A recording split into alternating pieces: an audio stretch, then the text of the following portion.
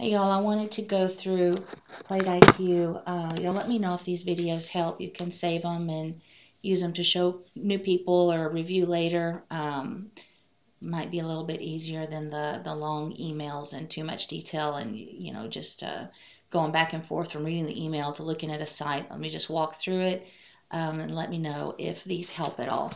So I should have given you all your users and passwords when you log on. This is the home page. We can get invoices in Plate IQ three ways. You've been emailing them in, and that's uh, quick and easy. That's fine. You can upload right here through Plate IQ, or you can create an invoice. The difference is when you create an invoice, you can see it immediately. You can see what you upload, you can see everything right away. It has all of the information. If you go to home and you upload, it takes a little bit longer, but it's still generally pretty quick. When you email it, I don't see it for 24 hours. Won't come through. I can't look at it or do anything with it for 24 hours. So that's the difference in the three ways that you can do it. Um, to upload an invoice, you click upload, click your store, browse to upload, and then just find it. Um, and you can just upload right there. And then it's going to put a little bar here, a little status bar. And when it's uploaded, there's a check mark and it's done. To see if it worked, you can go over here and here says uploads and it tells you what it's working on. These little green check marks means it came through. These little yellow spinning dials means it's still thinking about it. When it comes through, it'll be um, here in needs attention or under your approval. Um, it just kind of depends on if something similar came through before, it may just put it over here in your approval. If it wants you to map the vendor or do something with it, um, it'll put it over here and needs attention. Um, so that's all really that you can do on the this stuff. I never I never use it or click on it. I, I just don't do it. Um, really, the home screen is mostly if you just want to upload an invoice real quick, upload it, go. Um, the next place that is most commonly what you'll go to would be under invoices. Like I said, here you can create an invoice.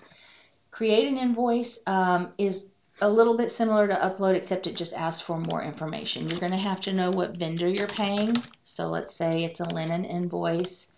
Pick your location, put your invoice number and the invoice date. Invoice dates for Plate IQ are very similar to MenuLink. You'll always be aware of your invoice date and your accounting date. Um, let's say P1, we're still, we just sent out P&Ls, we're looking at P1. We don't want to put any invoices in P1 if we don't have to. Um, but we still can because we have not closed. You just need to let me know that that happened so we can watch for it. Um, the invoice date is going to be the accounting date. So in general, we want to be on top of everything. We want to have the invoices when they come in. We want to have them on their invoice date. That's the period they go in. That's good. But let's say it was from June of last year and it never got paid. You're not going to put June of 2020 in here. Um, that whole year is closed. It will it will cause major accounting problems if we don't know and we don't catch that and we don't fix it. The invoice date is going to be the period that you need it to go into. If it was June of last year, it's going to go in this period. You can just put today's date. Uh, put your amount and then just hit split between accounts. You don't have to worry about all this. We will do this. So just put split between all accounts, create and continue. And then you would upload the file. Okay. Um, this over here, we will fix. We will fix this. We, like, I mean, if this came through, it would have a lot of issues because this says Alsco, it says linen, but it's a check for Addison. Obviously, there are problems with this. It's just being used for an example. But um, if you if you did need to correct it, um, you could just put petty here. Click the right vendor. This is going to be check 1029. It's 4022821. 022821 is in the current period. Period 3 started February 22nd. We're in the current period. That, that date is good. Does not need to be looked at or changed. now we're saving. Um, don't hit verify, don't do anything with this. This is here now for me to review. I can see everything. So if you wanted to upload an invoice um, that we could see right away, you create the invoice. Otherwise, just upload it or email it. Uh, yeah, uploading and emailing is, is very similar. I would like to ask um, if you can start either uploading or creating an invoice for the petty cash. And the reason that is, is because when things come through Plate IQ, it splits all the pages. And um, it's I have to merge them back together. That's very simple to do. But if it catches a, one of the receipts and, and it gets really confused, it may hold it for a little while. And so then when it does come through, I don't I don't know what to do with it. Um, this is something that kind of happened similar to that. This generally goes under a card that the store has, but it could also be petty cash. Uh, I can see Visa here, so I'm assuming it's a card. But if this were part of petty cash, I would need to merge it with the correct one. And since it came in all separate, I don't know what, what which one to merge it to. So if you will upload your petty cash um, invoices instead of emailing them, then it'll keep it together and I won't have to question what I'm doing uh, with that. Emailing it still works. It's I've been I've been doing it. It's fine, but it will help me if you can upload instead of emailing just the petty cash. With the petty cash, um, like uh, like I emailed and most of you have been doing, um, it helps to have, this would be one, um, put this as your first page and then your your log and I think this was one that kind of like I said it splits up and it loses some pages sometimes so it's been kind of um, random whether I get the whole thing in there or not but um, you would have this page and then your your petty cash log and then all of your backup together. Okay, so the three ways to get invoices in again are emailing, uploading, or creating. All right, so for the next part, if you want to, uh, a vendor ask you, you know, I sent you this invoice and I haven't gotten a check, you can search under invoices by a, an invoice number. Put in partial invoice number, put in the whole invoice number, whatever you put, it's going to pull some things. Um, it's not in new. There's something that needs approval, but if you go here to all documents, it's going to give everything that has the number one, two, three in it. So let's say it was community. This up here, exported means it's in our accounting software. We looked at it, it's good, we exported it, it's in the accounting software. Approved means we approved it, if you click paid, see this pulls up a check. The check date is the date um, the invoice was paid. Give them the mailing date of the next day. Say, you know, it was cut on the 4th, it, it was mailed on the 5th. They are coming from New York. I've noticed that the checks, since we started with Plate IQ, are taking about two weeks to clear. So I have been trying to pay them a little bit earlier to adjust for the mail time. Um, but give them the check date, tell them it went out the next day. We're not gonna, you know, re avoid reissue or anything for two weeks because that's just how long it's been taking for the checks to get get where they're going and come back through the bank. Um, you can give them any of this information. Another way that they're getting paid is um,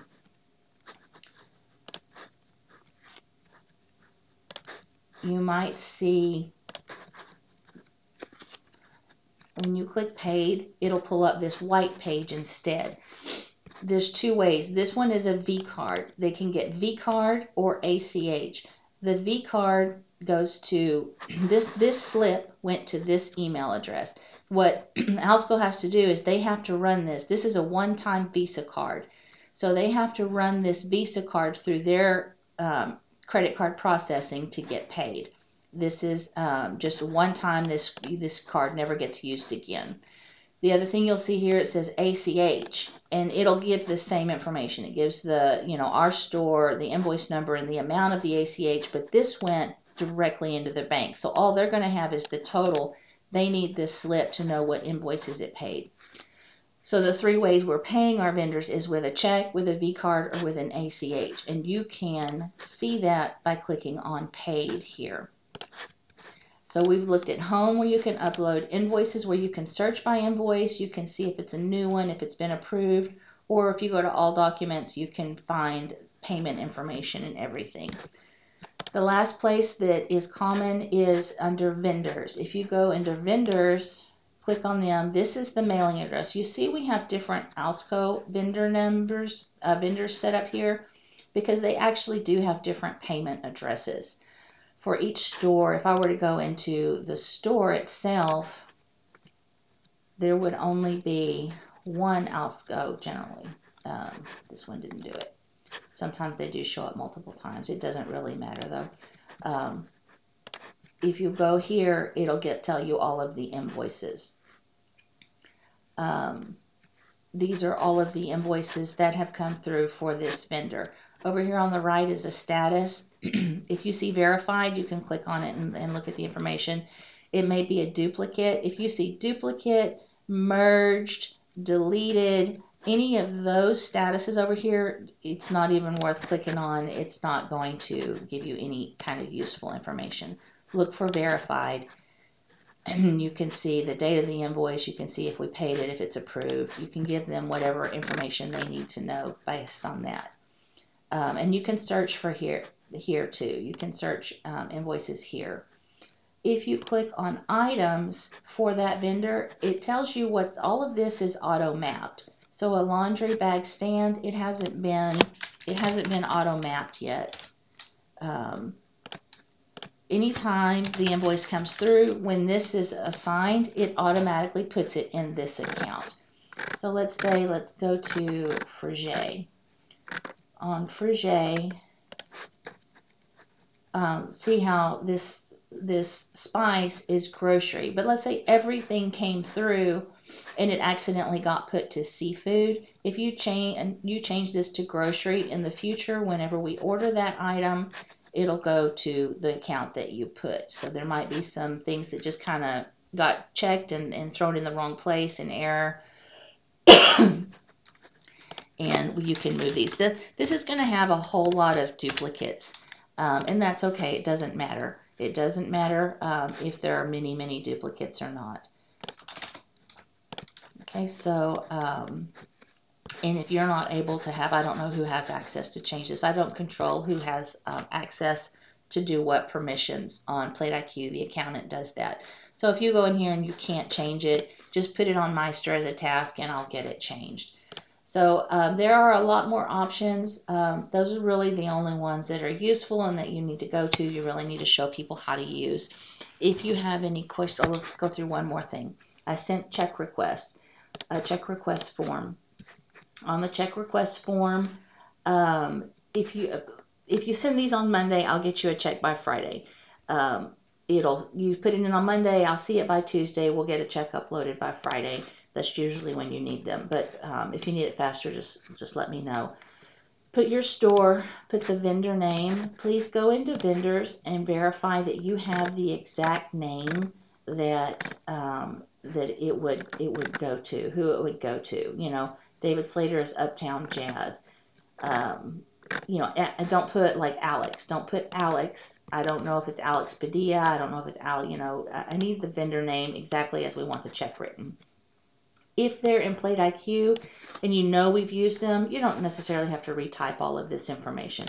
If they're brand new, you need to put in the tax ID, you need to put a W-9 form with this. Put the date that you're sending the check request in and the date that they're going to actually do the job.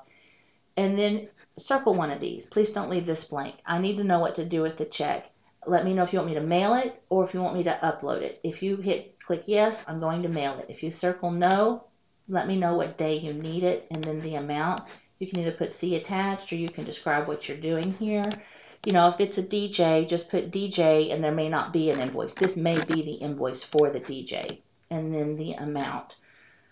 and then uh, scan that, scan it with the W9 and any backup that you have and um, let me know. Like I said, if you create the invoice, I can see it immediately If you upload it, it'll take a little bit. If you email it, it'll be the next day. I can still get you the check. Um, I just need to know that it's there and that I can follow through and find it. So that is all of the things to do with Plate IQ. If you have any questions, um, just shoot me an email, give me a call, let me know, and I will uh, figure it out. Thanks.